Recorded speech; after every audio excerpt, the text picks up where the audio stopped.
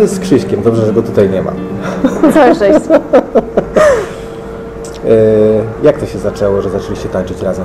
E, Generalnie było to tak dość spontanicznie, bo y, któregoś chyba pierwszy, jednego z pierwszych dni y, początku roku na uczelni y, poszłam między zajęciami na obiad.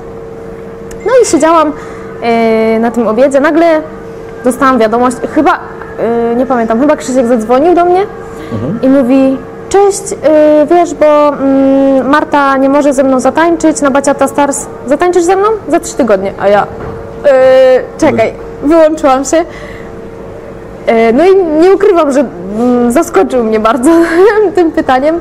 Przemyślałam wszystko, odzwoniłam, mówię, okej, E, Poważnie? tak. tak. Taki był początek? tak to się zaczęło. w trzy tygodnie się przygotowaliście Dokładnie. do Stars Poland? I wygraliśmy wtedy. Ale numer, naprawdę? Tak. No dobra, to rozumiem, że teraz się szykujecie do wszystkich, do wszystkich turniejów. Tak to może błąd. Może właśnie na spontanie byłoby lepiej. No. No to nieźle. A kiedy to było? E, w październiku trzy lata temu. Trzy czy dwa? Dwa lata temu. Dwa lata temu. Bo trzy tańczę. No tak. Spotkałem się ostatnio z opinią, em, ja zresztą ją e, podzielam, że widząc Wasze ostatnie demo, że to jest naprawdę światowy poziom. Także po trzech latach do tego doszliście. Jesteś zadowolona z tego? Tak. Bardzo. Oczywiście mam nadzieję, że będziemy cały czas się rozwijać jeszcze bardziej i że to jeszcze mm, jakby mocniej będzie przypominało Jakieś plany na najbliższą przyszłość?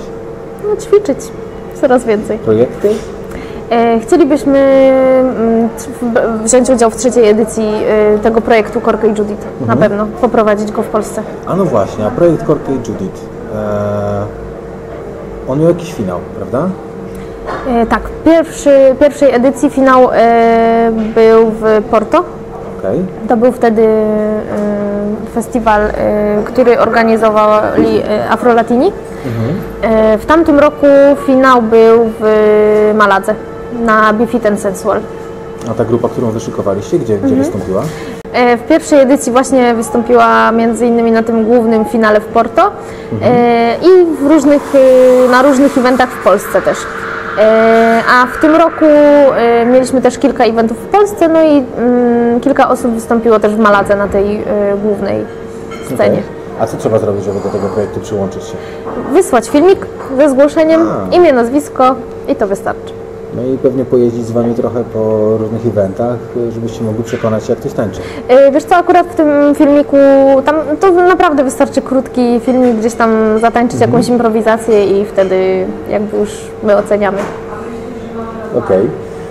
Y, Zawsze jest takie pytanie, na które pewnie jest ciężko odpowiedzieć, czy jakaś zabawna anegdota z warsztatu, z jakiegoś wyjazdu, coś takiego się przytrafiło, może jakieś zaskoczenie. Nie wiem, okazało się, że Korkę mówi po polsku. I Korkę mm, potrafi mm, powiedzieć e, kilka słów po polsku, szczególnie wiemy cycki. jakie. Tak? O.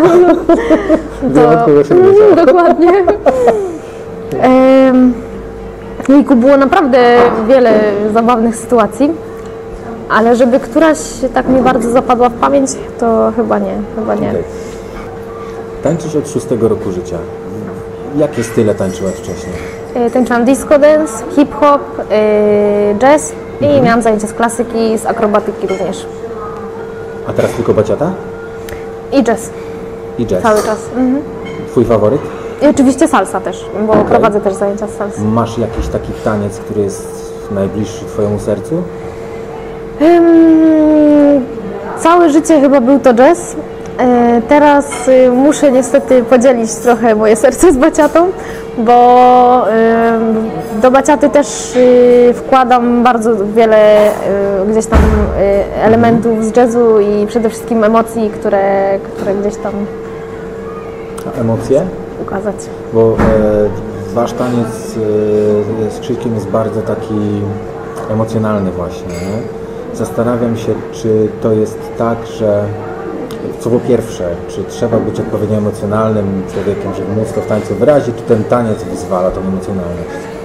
Wiesz co, ciężko jest. y, Nie wiem, nie wiem, naprawdę ja mam y, coś takiego, że po prostu y, jak słyszę muzykę, to reszta dzieje się sama. I nie, nie potrafiłabym na przykład y, na zawołanie Mhm. y, tego zrobić, że ktoś mi powiedział, dobra, stań i teraz zatańcz, tak jak my chcemy, tylko gdzieś tam to się samo po prostu dzieje. Dlatego nie towarzyski.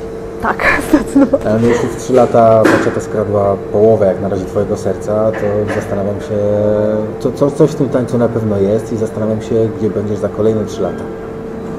Życzymy samych sukcesów. Dziękuję bardzo bardzo. dziękujemy. Do zobaczenia. Dzięki.